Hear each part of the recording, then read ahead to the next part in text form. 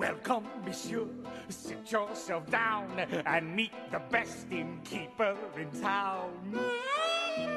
As for the rest, all of them crooks, rooking the guests and crooking the books. Seldom do you see honest men like me, a gent of good intent, who's content to be master of the house, doling out the charm, ready with a handshake and an open palm. Tells a saucy tale, makes a little stir. Customers appreciate a bon vivant, glad to do a friend a favor. Doesn't cost me to be nice. But nothing gets you nothing, everything has got a little price.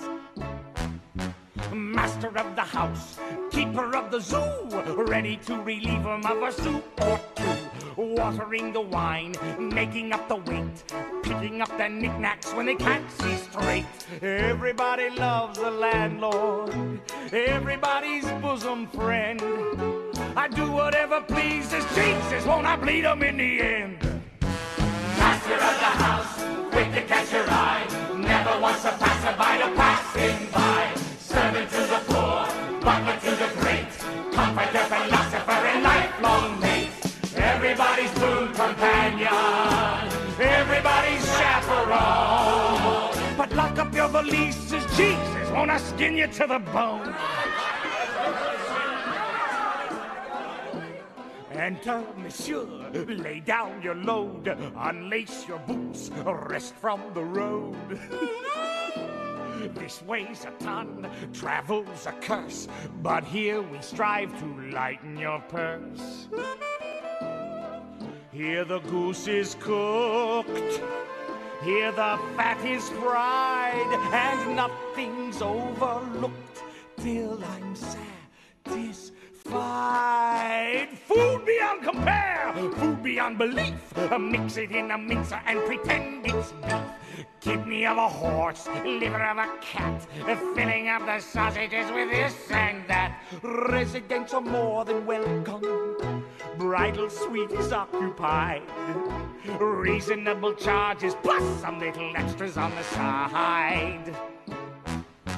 Charge 'em for the lights, extra for the mics, Two percent for looking in the mirror twice. Here a little slice, there a little cut. Three percent for sleeping with the window shut. When it comes to fixing prices, there are lots of tricks he knows. How it all increases, all in bits and pieces. Jesus, it's amazing how it grows. Master of the house, quick to catch your eye, never wants a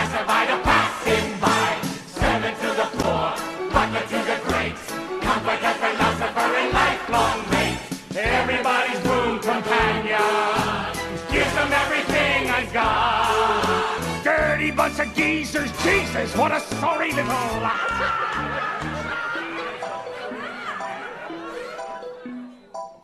I used to dream that I would meet a prince. But God Almighty, have you seen what's happened since? Master of the house isn't worth my spit.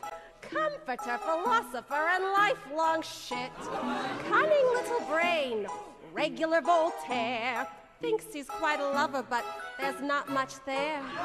What a cruel trick of nature landed me with such a louse. God knows how I've lasted living with this bastard in the house. Master of the house! Master and a house! To the poor, to the great! Hypocrite